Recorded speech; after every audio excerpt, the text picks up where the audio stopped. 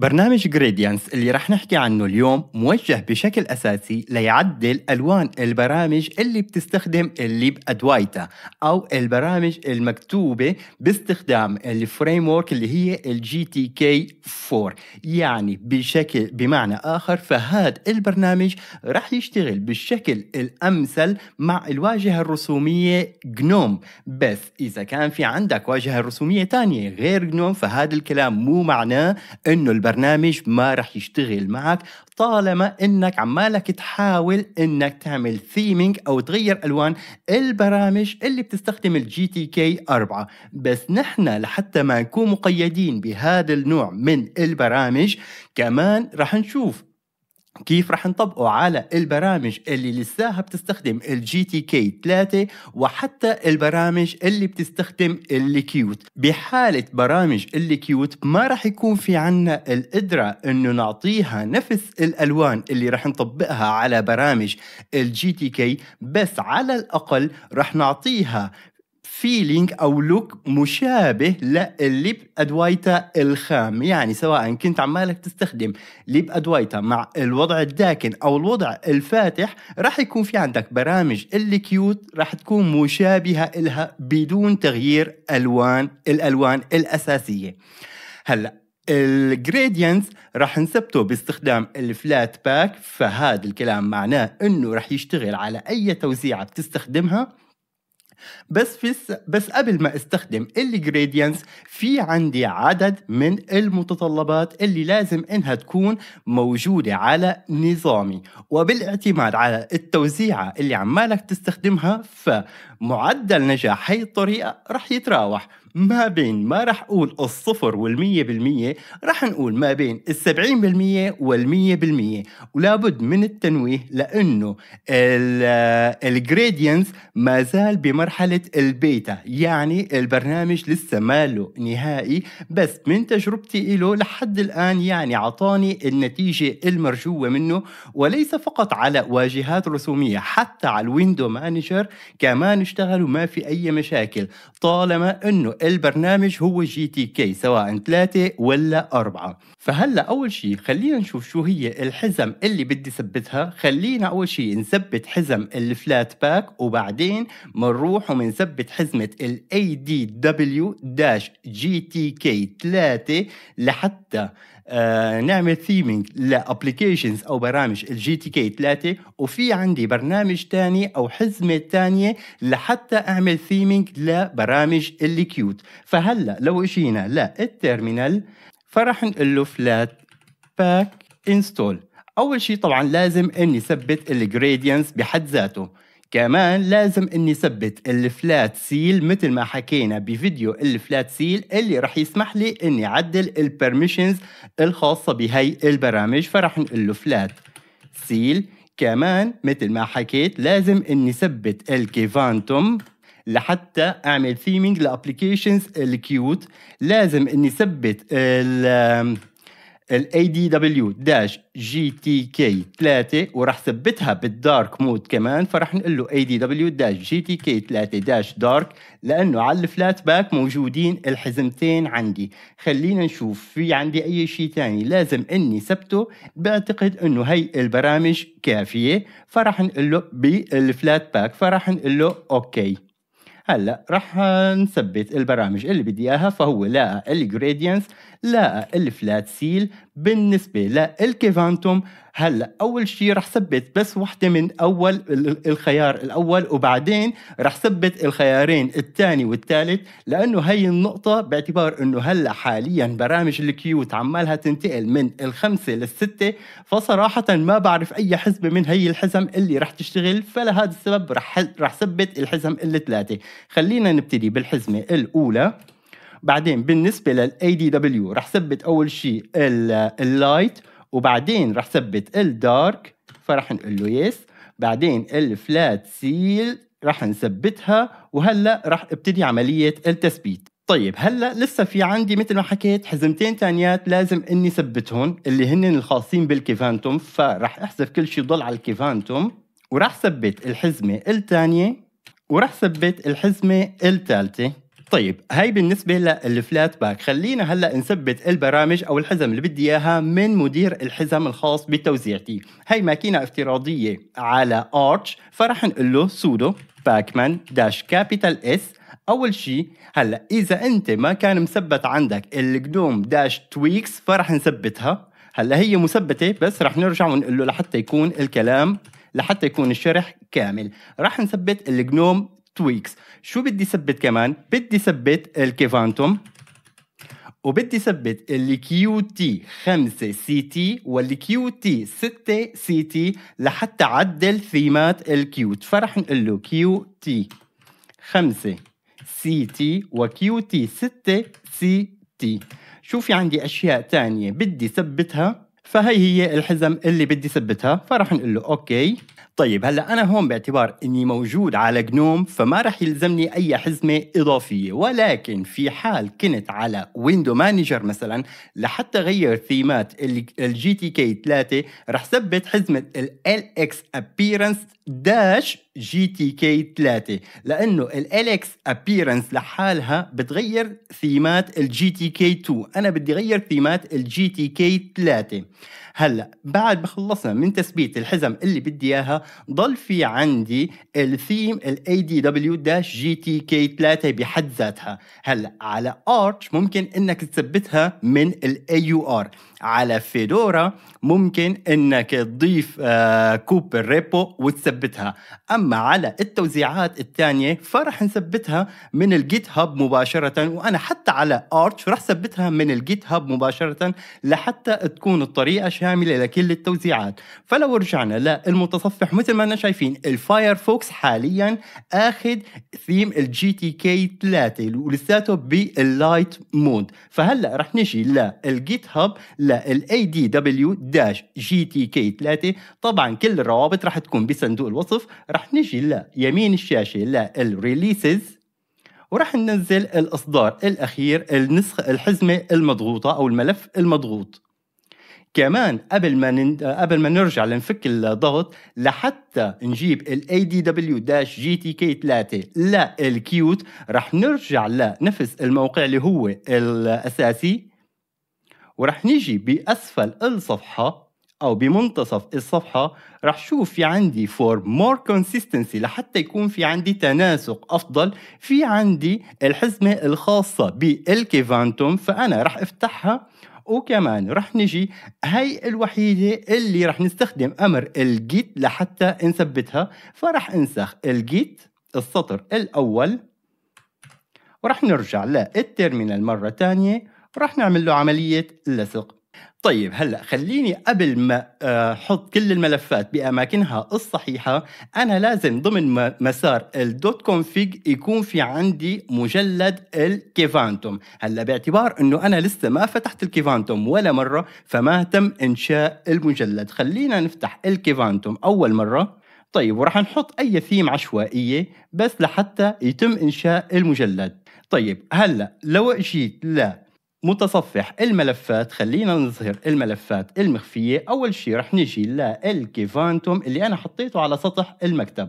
فهو ال KvLibadwaita رح إجي لمجلد SRC ال source وراح أنسخ هذا المجلد اللي هو KvLibadwaita.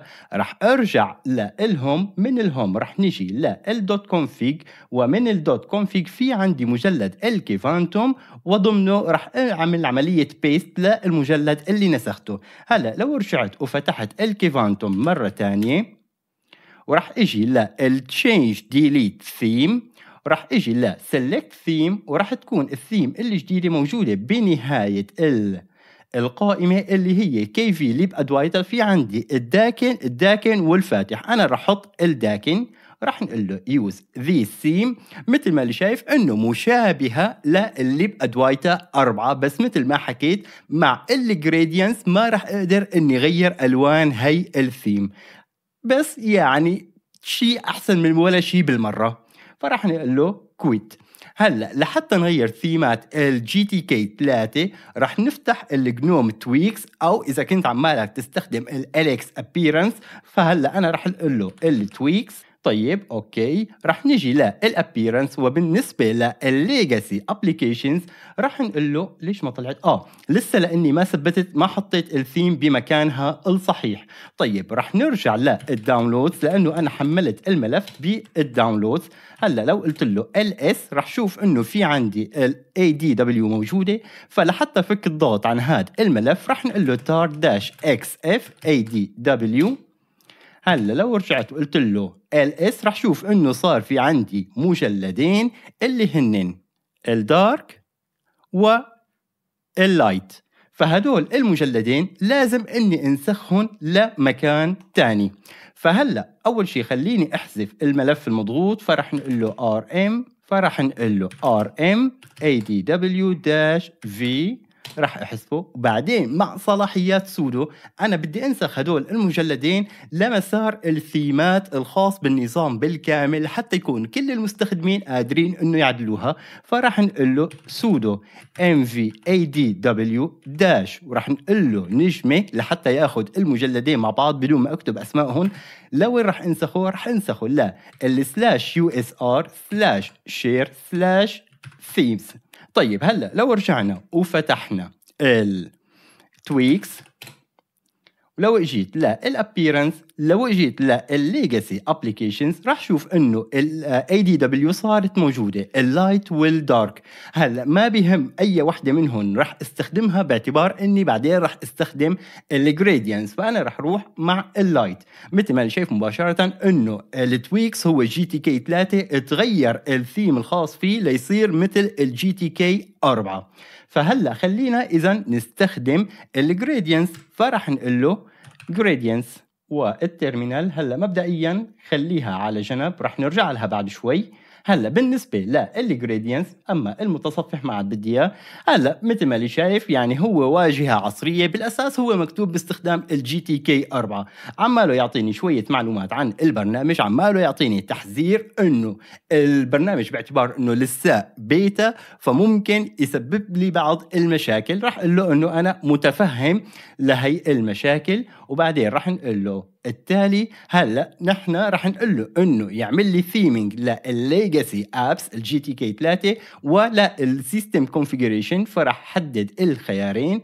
بعدين راح نقول له continue installing themes راح نقول له continue وهلا نحن جاهزين إنه نبتدي نستخدم البرنامج.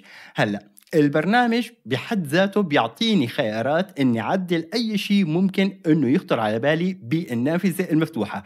لحتى ما أنسى ولا واحد من الخيارات طبعا هي الخيارات اللي موجودة هون بس رح نقراها لأني كاتبها هون. فهو بيسمح لي إني غير ال accent colors اللي هي ألوان الأزرار ألوان الإطارات اللي هي الخيار الأول. ممكن إنه يسمح لي غير ألوان الأزرار الخطيرة اللي ممكن إنها تتسبب بمشكلة بالنظام. بيسمح لي إني غير ألوان الأزرار العامة. بيسمح لي إني غير أزرار التحذيرات. بيسمح لي إني غير ألوان أزرار أو ال accent color. أنا عم أقول الأزرار بس هي بالأساس ال accent color للتحذيرات. بيسمح لي إني غير لون خلفية النافذة. بيسمح لي إني غير لون ال header اللي هو الترويسة العلوية. بيسمح لي إني غير لون ال border أو ال ال الإطار اللي بيفصل ما بين هو هذا الخط اللي هون طالع بلون مختلف عن الترويسة وعن النافذة. كمان ممكن إنه يسمح لي بغير هذا اللون إذا كنت بدي أحصل على نافذة بلون واحد. فرح أحط الترويسة والقسم الأساسي من النافذة وال border بنفس اللون. وبهذا الشكل بيسمح لي إني أغير أي شيء ممكن إنه يخطر على بالي. طيب أنا إذا ما كنت بدي آه، أقعد وأغير كل واحد من هدول الألوان بشكل يدوي فأنا في عندي ثيمات جاهزة. هلأ هو مبدئيا مثل ما اللي شايف إنه آخذ ال Adwaita ال light آه، الافتراضية. أنا ممكن إني أغيرها لل dark وممكن إني أروح مع ال purple اللي هي جاية من ضمن البرنامج جاية مثبتة مع البرنامج بشكل مسبق. هلأ أنا رح ثبت هي الثيم إذا كنت بدك تعمل إذا كنت بدك تختار ثيمات ثانية فممكن إنك تروح وتدور على ثيمات كانت موجودة ممكن إني نزلها من ال manage presets فراح نقول له بالنسبة لل explore راح تدور على اسم بدك إياه أو الثيمات اللي ال community عاملتها وممكن إنك تثبتها من هذا المكان مباشرة. هلأ حاليا نحن خلينا على ال purple راح نقول له apply وراح أقول له انه ثبت لي إياها لل GTK 4 applications وراح نقول له باعتبار إنه نحن ثبتنا ال adw dash GTK 3 كمان ثبت لي إياها ل applications ال GTK 3 راح نقول له apply طبعا okay الرسالة اللي طلعت عماله يقول لي إنه لازم أعمل log out و log in هلأ لو إجيت لل preferences أنا كمان بدي أعمل applications ال Flatpak اللي هي حددتها كمان فقلت له ال GTK 3 Flatpak applications قلت له كمان انه اعمل لي theming لهي البرامج. فراح نقول له okay راح نسكر هذا البرنامج نسكر نسكر النافذة وراح نعمل log out طيب بعد ما عملت له ال log out وال log in لو جينا وفتحنا ال settings رح شوف إنه صارت مع اللون ال purple اللي أنا حطيته. لو فتحت برنامج تاني. آه ال settings اللي هي GTK 4 لو فتحت برنامج بال GTK 3 ال Flatseal أنا بعرف إنه GTK 3 فرح نقول له ال Flat فشايف إنه حتى ال Flatseal صار باللون ال purple اللي أنا حطيته.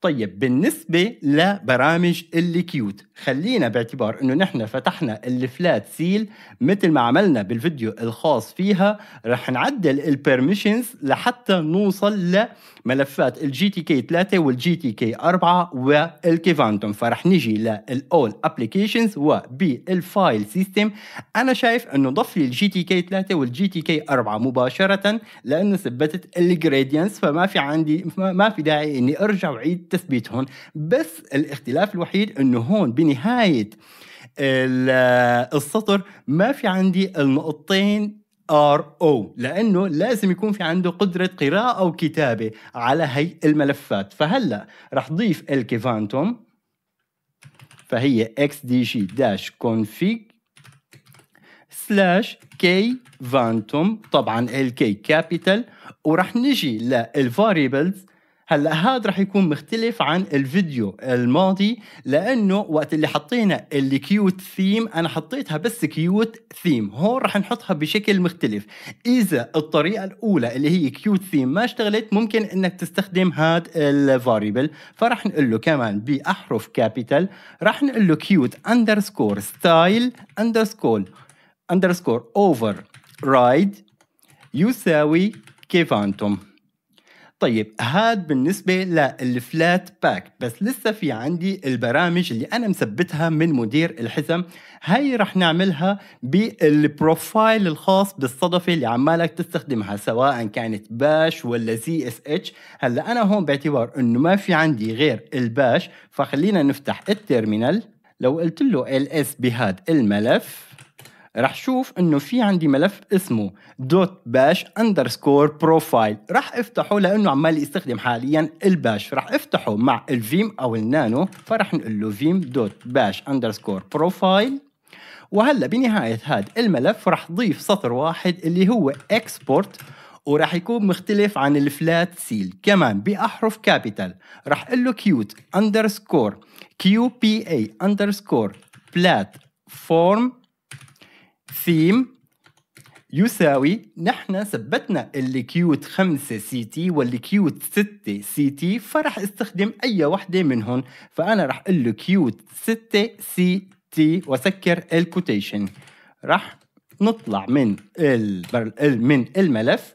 خلينا نفتح اللي Qt 5 واللي Qt 6 بالترتيب. فرح نقول له Qt 5 CT خليني أول شيء هلأ شايف إنه عاطيني warning عمال يقول لي إنه ال Qt QPA platform لازم تكون Qt 5 أو Qt 6 بال profile أنا حطيتها بس لسه ما عملت log out فهلأ رح نقول له okay. وبالنسبة لل style رح أختار ال Kvantum ورح نقول له apply okay.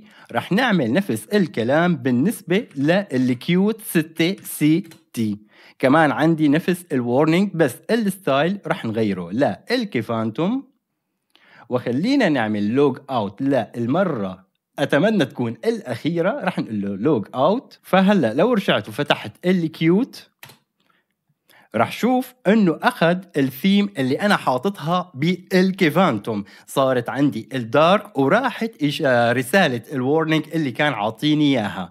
طيب هذا الكلام مثل ما حكيت إنه ما سمح لي غير ألوان ال applications اللي موجودة بال Qt. بس على الأقل عطاني يعني وضع متناسق أكثر أو look متناسق أكثر مع ال GTK خلينا نجرب واحد من برامج اللي Qt اللي Qt لنشوف راح يشتغل الثيم ولا لا وراح نثبته مع ال Flatpak فلو جينا لل terminal وراح نقول له Flatpak شو البرنامج اللي بدي ثبته؟ راح نثبت. VLC باعتباره برنامج Qt فخلينا نعمل الشاشة الكاملة اللي هو رقمه 14 طيب بعد ما خلصنا من تثبيته خلينا نشوف هل VLC راح يستخدم الثيم الجديدة؟ هلا مثل ما اللي شايف إنه طلع بال dark mode وعماله يستخدم ليب ال theme ال GTK اللي اللي ثبتتها. طيب هلا النقطة اللي لازم نوه لها بالنهاية هو إذا كنت عمالك تستخدم ال Gradience على ال GNOME فلو جينا لل settings للإعدادات لقسم ال appearance بال appearance ما راح كون قادر إني غير بين ال dark وال light mode لأنه هذا الكلام بالأساس عمالي أعمله من ال Gradience بحد ذاته. يعني حتى لو كنت على ال dark ورجعت لل default أو ال light ما راح تتغير لل light طيب ممكن واحد إنه يقول كيف بدي أرجع لل light mode بهي الحالة راح نرجع لل Gradience بحد ذاته. ومن ال Gradience إما إنك بتغير الثيم اللي عمالك تستخدمها فهلأ لو قلت له libadwaita راح يرجع لي لل dark لل light mode بيعمل log out و log in مرة ثانية لو كنت بدي أعمل restart أو إعادة ضبط للثيم الأساسية راح نجي للثلاث نقط وراح أقول له reset applied color scheme عماله يسألني كمان بدي أعملها لل GTK 3 وال GTK 4 راح نقول له okay وراح نقول له reset كمان بنرجع بنعمل log out و log in مرة ثانية وبيرجع بكون بهي الحالة قادر إني استخدم الابيرنس اللي موجودة بإعدادات الجنوم. بلتقي فيكم بالفيديو الجاي وبأمان الله.